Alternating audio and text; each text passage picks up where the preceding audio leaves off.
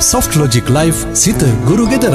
පාඩම් කියල දෙන රේඩියෝ පන්තියට පාර කියන්නේ. වේගයෙන්ම කලේම්ස් ගෙවන ලංකාවේ හොඳම සෞඛ්‍ය රක්ෂණය. Softlogic Life. Soft logic Life සිත ගුරු ගෙදර.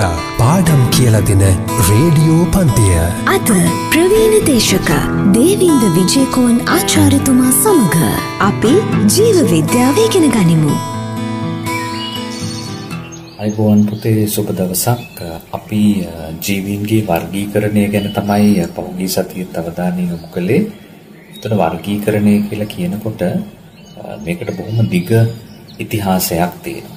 ඉතා දිග ඉතිහාසයක් තියෙනවා.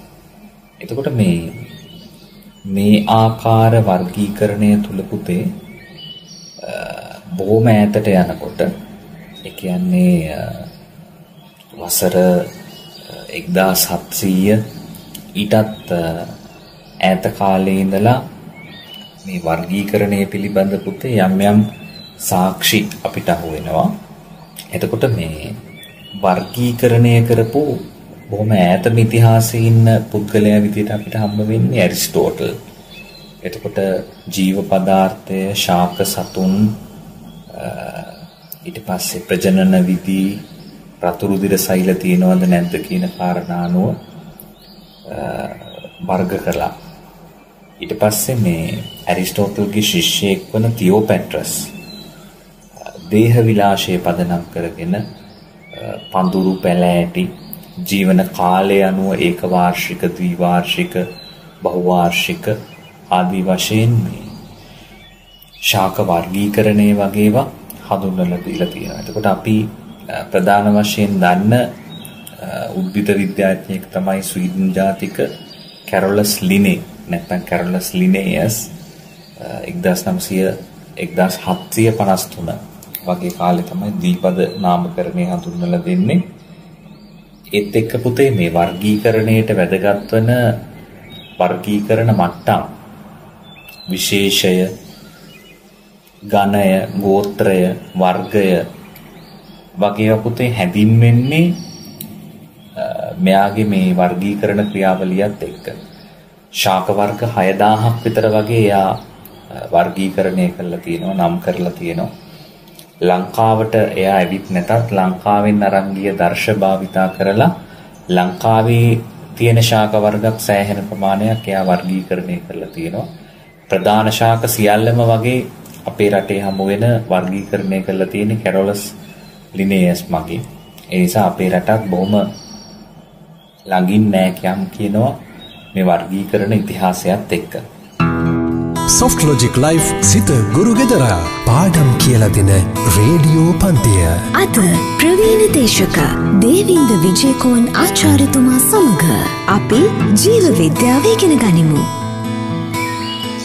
ඊට පස්සේ අර්නස්ට් හේකල් කියන විද්‍යාඥයා එක්දස් අටසිය හැටහය වගේ කාලයේදී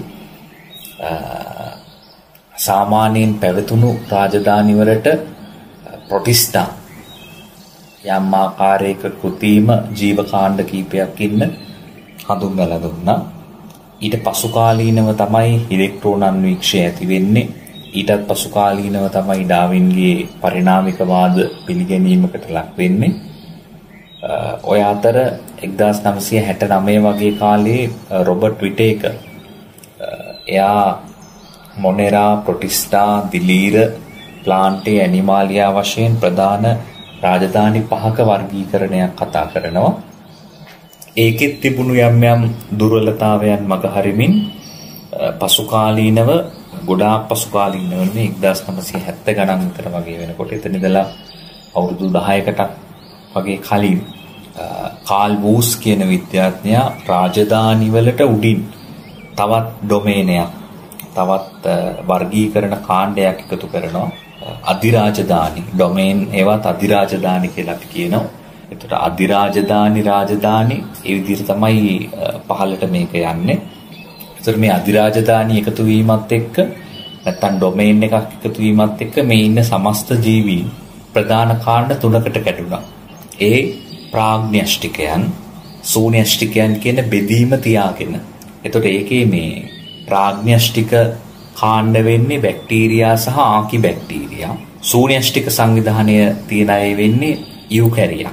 එතකොට බැක්ටීරියා ආකියා යූකැරියා වශයෙන් ප්‍රධාන කාණ්ඩ තුනකට කාල් වූස් එයාගේ වර්ගීකරණය කරා. එතකොට එතන ඉඳලා අද දක්වාම මේ වර්ගීකරණ පද්ධතිය තමයි පැවතෙන්නේ. එතකොට අපේ විෂය නිර්දේශයටත් නව සංශෝධන විදිහට මේ කාල් වූස් වර්ගීකරණය පසු එකතු වුණා.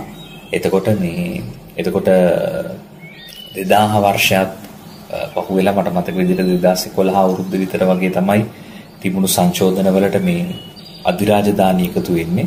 ඒ කියන්නේ 1977 තමයි මේක හොයාගන්නේ.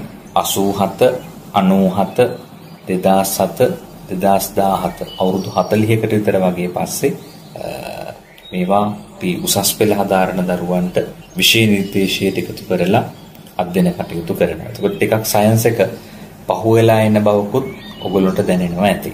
පුතේ අපි මුලින් මේ අධිරාජධානී තුනේ ප්‍රධාන ලක්ෂණ කීපයක් සංසන්දනය කරලා බලමු. කොහොමද මේ අධිරාජධානි තුන එකිනෙකින් වෙන් කරලා මූලික වශයෙන් හඳුනගන්නේ. පැහැදිලිද? අපි පුංචි විරාමයකට ගිහිල්ලා විරාමයෙන් පස්සේ අධිරාජධානී ආකියා අධිරාජධානී බැක්ටීරියා සහ ශූන්‍යෂ්ටික අධිරාජධානිය වන යූකැරියා පිළිබඳ මූලික ලක්ෂණ සංසන්දනය කරලා බලමු. සොෆ්ට් ලොජික් ලයිෆ් සිත ගුරු ගෙදරා පාඩම් කියල දෙන රේඩියෝ පන්තිය. අද ප්‍රවීණ දේශක දේවින්ද විජයකෝන් ආචාරතුමා සමඟ අපි ජීව විද්‍යාව ඉගෙන ගනිමු.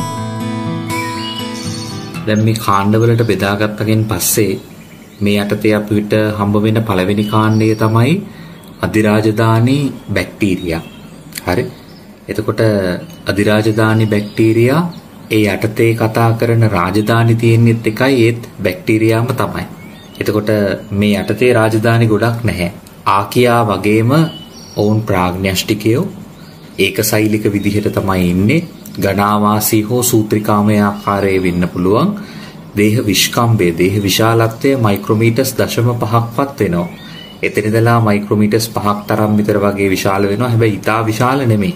දැන් මේ 0.5 නිසා දේහ විශාලත්වය මේගොල්ලෝ පෙරන්න පෙරහන් හදනවා. ඒ පෙරහන් වල විශාලත්වය සාමාන්‍යයෙන් 0.45යි මයික්‍රොමීටර්ස් විතර වගේ ගන්නවා. එතකොට සිදුරේ විශාලත්වය 0.45 නිසා මේගොල්ලොන්ට පෙරෙන්න විදිහක් නැහැ. මේගොල්ලෝ පෙරණය තුල රැඳෙනවා. ඒ විදිහට බැක්ටීරියා රඳවා ගන්න පුළුවන්. හැබැයි මොවුන්ට බොහොම ශුෂ්කර වූ පරිසර තුල ජීවත් වෙන්න පුළුවන් නිසා භෞමික උනත් ජලජ උනත් වඩා කටුක පරිසරයක් උනත් නොනැසී පැවැත්වීමේ හැකියාව මේගොල්ලොන්ට තියෙනවා. ආපහු තරමක් සුදුසු පරිසර තත්ත්ව ආපු ගමන් ප්‍රජනනය කළ ඊළඟ පරම්පරා ඇති කරනවා සරල විභාජන ක්‍රම මගින්. මේගොල්ලොන්ගේ බිත්තියේ තියෙන්නේ පෙප්ටිඩෝග්ලයිකෑන් සංඝටකයක් විදිහට එතකොට මේ ළමයි ගොඩක් තැන්වලදී වරක්ද ගන්නවා මේ පෙප්ටිඩෝග්ලයිකෑන් ප්‍රාග්ඥෂ්ටික ජීවීන් හැමෝටම තියෙනවා කියන පදනමේ ඉඳලා මතක තියාගන්න ඕනේ බැක්ටීරියා හා සම්බන්ධව කතා කරනකොට තමයි අපි පෙප්ටිඩෝග්ලයිකෑන් සෛල බිත්තියේ පවතිනවා කියලා කතා කරන්නේ. ඊට අමතරව මේ සෛල බිත්තියේ ඝනකම මේ පෙප්ටිඩෝග්ලයිකෑන් තියෙන ප්‍රමාණය මත ග්‍රෑම් ධන ග්‍රෑම් ඍණ විදිහට කාණ්ඩ දෙකකට කඩන්න පුළුවන්. එතකොට ඒ දෙකේ තව අතිරේක ලක්ෂණ ගොඩක් තියෙනවා. බිත්තියත් එක්ක සලකලා මේ පෙප්ටිඩෝග්ලයිකෑන් බිත්තියත් එක්ක සලකලා ග්‍රෑම් ධන කියලා කියනකොට සාමාන්‍යයෙන් ග්‍රෑම් ඍණ කෙනෙකුට වඩා තුන් ගුණයක් විතරවත් සෛල බිත්තියේ ඝනකමයි. හරි. එතකොට ග්‍රෑම් ඍණ වෙනකොට සෛල බිත්තියේ ඝනකමේ අඩුවක් තියෙනවා. ග්‍රෑම් ධන වෙනකොට සෛල බිත්තියේ ඝනකම වැඩිවීමක් තියෙනවා. දැනට මේ මතක තියාගන්න තව ඉදිරියට මේ ග්‍රෑම් ධන ග්‍රෑම් ඍණ හා සම්බන්ධව අතිරේක විස්තර ටිකක් අපි ඉගෙන ගමු. මේ දෙගොල්ලොන්ගෙම වැඩි පිරිසක කියන්නේ හැමෝගෙම නැති වෙන්න පුළුවන් මේ දෙගොල්ලොගෙම වැඩි පිරිසකගේ සෛල බිත්තිය ඇලෙන සුළු ස්තරයක් ප්‍රෝටීන ප්‍රාචීරයකින් ආවරණය වෙන සොෆ්ට් ලොජික් ලයිෆ් සිත ගුරු ගෙදරා පාඩම් කියල දෙන රේඩියෝ පන්තිය. අද ප්‍රවීණ දේශක දේවින්ද විජයකෝන් ආචාරතුමා සමඟ අපි ජීව විද්‍යාව ඉගෙන ගනිමු. එතකොට මේ බිත්තියට පිටතින් තියෙන මේ ස්තරය ඇලෙන සුළු පොලිසැකරයිඩ් ස්තරයක් ප්‍රෝටීනමය ප්‍රාවරණයක් වෙන්නත් පුළුවන්. ඊට පස්සේ මේගොල්ලෝ එක තැනක ඉඳලා තව තැනකට යන්න කශිකා භාවිතා කරනවා. මේ කශිකා ශූන්‍යෂ්ටිකයන්ගේ වගේ නෙමෙයි. ප්ලාස්මා පටලයෙන් වට වුණු නමේ දන දෙක ව්‍යුහය නැහැ. ඒ නිසා ශූන්‍යෂ්ටිකයාගේ කශිකාවයි ප්‍රාග්ඥෂ්ටිකයාගේ කශිකාවයි වෙනස් වෙනවා. මේක නිකම්ම ප්‍රෝටීන කෙන්දක් හෝ කෙඳි කීපයක් එක තැනක ඉඳලා තව තැනකට මෙයාට සංචරණය සඳහා පිහිනා යන්න ආධාර වෙනවා. පෝෂණ ක්‍රම අතරින් ගත්තොත් විෂම පෝෂී ස්වයන් පෝෂී පෝෂණ ක්‍රම හැම එකක්ම වගේ මේ බැක්ටීරියා පෙන්වනවා. ශ්වසනය ගත්තොත් නිර්වායු ස්වායු වෛකල්පිත නිර්වායු අනිවාර්ය නිර්වායු ආදී වශයෙන් ඔය හැම ඔක්සිජන් බන්ධුතාවයේ මත ජීවත් වෙන්න පුළුවන් විවිධ වර්ගයේ බැක්ටීරියාවන් අපිට හඳුනා ගන්න පුළුවන්. ඊට අමතරව සමහරුන්ට විශේෂයෙන් මේ මේ කාණ්ඩයට තියෙන විශේෂ ලක්ෂණයක් විදිහට නයිට්‍රජන් තිර කිරීමේ හැකියාව තියෙනවා. සමහර සයනෝ බැක්ටීරියාවන් රයිසෝබියම් වගේ අය නයිට්‍රජන් තිර කරනවා. ඒක තනියම කරන එකක් වෙන්නත් පුළුවන් සහජීවී වෙන්නත් පුළුවන්. ඊට පස්සේ මේ දීකණ්ඩනය තමයි මේගොල්ලොන්ගේ ප්‍රජනන ක්‍රමය. එතකොට දික් අක්ෂය ඔස්සේ දෙකට කැඩෙමින් න්‍යෂ්ටික ද්‍රව්‍ය බෙදාගෙන දික් අක්ෂය ඔස්සේ දෙකට කැඩෙමින් සිදු කරන සීර්ඝ ප්‍රජනන ක්‍රමයක් තියෙනවා. ඒ වගේම විශාල වශයෙන් නව ජීවීන් පිහිවෙනවා. ලිංගික ප්‍රජනන ක්‍රමයකුත් මේගොල්ලොන්ට තියෙනවා. ඒකට අපි කියනවා සංයුක්මනය කියලා. එතකොට මේ එයාගේ තියෙන DNA එක යම් මට්ටමකට හෝමාරු කර ගැනීමක් කරනවා. හරි? ඊකෝලයි e. සෛරවල එහෙම මේ සංයුග්මනය අපිට බොහොම පැහැදිලිව හඳුනා ගැනීමේ හැකියාව තියෙනවා. එතකොට ඔය මූලික වශයෙන් අපි කතා කළේ බැක්ටීරියා අධිරාජධානිය ගත්තොත් ඒකේ තියෙන ලක්ෂණ. ඊට අමතරව සමහර බැක්ටීරියා ගත්තොත් ඒගොල්ලොන්ට තනියම ජීවත් වෙන්න ප්‍රභා සංශ්ලේෂණය කිරීමේ හැකියාව තියෙනවා. ඒ ප්‍රභා සංශ්ලේෂණය සඳහා ශූන්‍යෂ්ටික වගේ නෙමෙයි බැක්ටීරියෝ ක්ලෝරොෆිල් ප්‍රභා සංශ්ලේෂක වර්ණකයේ විදිහට වැදගත් වෙන බැක්ටීරියෝ ක්ලෝරොෆිල් සහිත ප්‍රාග්ඥෂ්ටිකයනුත් අපිට දැක ගන්න පුළුවන්. සොෆ්ට් ලොජික් ලයිෆ් සිත ගුරු ගෙදරා පාඩම් කියල දෙන රේඩියෝ පන්තිය. අද ප්‍රවීණ දේශක දේවින්ද විජයකෝන් ආචාරතුමා සමඟ අපි ජීව විද්‍යාව ඉගෙන ගනිමු. ඊට පස්සේ මේකට මයිති මේ බැක්ටීරියා යටතේම අපි සාකච්ඡා කරන මේ සයනෝ බැක්ටීරියාවන් ගත්තොත් ඒගොල්ලෝ ප්‍රාග්ඥෂ්ටික සියල්ලම වගේ ප්‍රභා සංශ්ලේෂක ඒකසෛලිකයි ඔක්සිජන් නිපදවීමේ හැකියාව තියෙනවා. සමහරු නානුමය කුපුවකින් ආවරණය වෙලා ඒක තුලට වෙලා සමූහ වශයෙන් ජීවත් වෙන ඝනාවාස නිපදවීමත් කරනවා. ඇතැම් බැක්ටීරියාවන්ට වගේම මේගොල්ලොන්ටත් වායුගෝලයේ නිදහස්ව තියෙන නයිට්‍රජන් අරගෙන තිර කිරීමේ හැකියාව තියෙනවා. ඊට පස්සේ ආකියා ගැන මූලික කාරණාවක් ගත්තොත් ඒගොල්ලොත් ප්‍රාග්ඥෂ්ටිකයි. එතකොට බැක්ටීරියා සහ ආකියා කියන දෙකේ යම් සම්බන්ධතාවයක් පරිණාමික බන්ධුතාවයක් තියෙනවා කියලා හිතෙන්නේ ඔන්න ඔය කාරණාව මත. බිත්ති ප්‍රෝටීන හා පොලිසැකරයිඩ් වලින් සැදිලා තියෙන්නේ පොප්ටික පෙප්ටිඩෝග්ලයිකෑන් නැහැ. එතකොට ප්‍රෝටීන පොලිසැකරයිඩ් තමයි ශූන්‍යෂ්ටිකයන්ගේ තියෙන. එතකොට ඔන්න ආපහු ආකියා ශූන්‍යෂ්ටිකයන්ට නෑකම් කියන බව. විශාලත්වය ගත්තොත් මේගොල්ලෝගේ විශාලත්වයත් මයික්‍රෝමීටර්ස් 5.5 5 වගේ අතර. ආපහු බැක්ටීරියාවන්ට සමානයි. එතකොට දැන් මේගොල්ලෝගේ තියෙන තව විශේෂ හැකියාවක් තමයි ලවණ සහිත ගිනි කඳු නිසා තාපය තියෙන බොහොම ආන්තික පරිසරවලත් මේගොල්ලන්ට ජීවත් වීමේ හැකියාව තියෙනවා. සාමාන්‍ය මධ්‍යස්ථ පරිසර මීතේන් ජනක බැක්ටීරියා මෙතනෝ ජීනස් වගේ අය සාමාන්‍ය පරිසරවලත් අපිට හඳුනා ගන්න පුළුවන්. ඊට පස්සේ ගවයන් වගේ සතුන්ගේ ආහාර මාර්ග ආශ්‍රිතව අපිට මේ කාණ්ඩයට අයිති ජීවීන් පොදුවේ හඳුනා ගැනීමේ හැකියාව තියෙනවා. ඊට පස්සේ සත්‍ය න්‍යෂ්ටික සංවිධානයක් තියෙන. හරි යූකැරියා ගැන කතා කරොත් කලින් වගේ නෙමෙයි ශූන්‍යෂ්ටිකයි ඒ නිසා වෙනස්. බැක්ටීරියා එක්ක සංසන්දනය කරනකොට විවිධත්වයේ සාපේක්ෂව අඩුයි කියන්නත් පුළුවන්. බහුතර ජීවීන් බහුසෛලිකයි. සත්‍ය න්‍යෂ්ටික සංවිධානයේ තියෙනවා. ඒ කියන්නේ ප්‍රාග්ඥෂ්ටික නොවන න්‍යෂ්ටියක් තියෙන්නේ. ගොඩක් අය බහුසෛලිකයි. වාසස්ථාන පෝෂණාකාර විවිධ වෙන්න පුළුවන්. බැක්ටීරියා වගේ නෙමෙයි මේගොල්ලෝ බහුතරයක් ස්වායු ශෝෂණය තමයි සිදු කරන්නේ. ලිංගික ප්‍රජනනය තමයි ප්‍රධාන වශයෙන් හඳුනා ගන්න පුළුවන්. නමුත් සමහර ප්‍රෝටිස්ටා වගේ කාණ්ඩ ගත්තොත් යුකැරියා යටතේ වර්ධනය වෙන ඒගොල්ලෝ අලිංගික ප්‍රජනන රටාවන් පෙන්නනවා දියුණු සමහර ශාක සතුනුත් ලිංගික ප්‍රජනනයට අමතරව ලිංගික ප්‍රජනනය පෙන්වන අවස්ථා අපිට මූලික වශයෙන් හඳුනා ගන්න පුළුවන්. සොෆ්ට් ලොජික් ලයිෆ් සිත ගුරු ගෙදරා පාඩම් කියල දෙන රේඩියෝ පන්තිය. අද ප්‍රවීණ දේශක දේවින්ද විජයකෝන් ආචාරතුමා සමඟ අපි ජීව විද්‍යාව ඉගෙන ගනිමු. එතකොට සංසන්ධනයකට ගියොත් මූලික ලක්ෂණ සෛලිය සංවිධානය ගත්තොත් බැක්ටීරියා ප්‍රාග්ඥෂ්ටිකයි ආකියා ප්‍රාග්ඥෂ්ටිකයි දෙන්නම එක වගේ යුකැරියා වෙනකොට සූන්‍යෂ්ටිකයි. සූන්‍යෂ්ටික ප්‍රාග්ඥෂ්ටික ඔන්න මූලික වෙනසක්. බිත්තිය බැක්ටීරියා වෙනකොට පෙප්ටිඩෝග්ලයිකෑන් ආකියා වෙනකොට ප්‍රෝටීන පොලිසැකරයිඩ නැත්තං ග්ලයිකෝ පෙප්ටිඩෝග්ලයිකෑන් නොමැති සෛල බිත්තියක් තමයි අපිට හඳුනා ගන්න පුළුවන්. සූන්‍යෂ්ටික වෙනකොට ගොඩක් වෙලාවට පෙක්ටීන්, කයිටීන් හෝ සෙලියුලෝස්, හෙමිසෙලියුලෝස් වගේ වගේ හැදුණු සෛල බිත්තියක්. එතකොට දැන් පෙප්ටිඩෝග්ලයිකෑන් නැත නැත කියන කාරණාවත් එක්ක බැක්ටීරියා කියා නැවත වෙන් වෙලා පේනවා. පටල ගත්තොත් එහෙම බැක්ටීරියාවන්ගේ තියෙන ප්ලාස්මා පටලේ සාමාන්‍යයෙන් ශාකනය වුණේ නැති හයිඩ්‍රෝකාබන් තමයි තියෙන්නේ. ඒක මතක තියාගන්න ඕනේ කරුණක්. සමහර හයිඩ්‍රෝකාබන් දාම ශාකනය වෙලයි තියෙන ආකියා. ඒතකොට ආකියා බැක්ටීරියා අතර තියෙන වෙනසක් විදිහට ශාකනය වූ හයිඩ්‍රෝකාබන් දාම ප්ලාස්මා පටලයේ තියෙන ශාකනය වූ හයිඩ්‍රජන් දාම හඳුන්වලා දෙන්න පුළුවන්.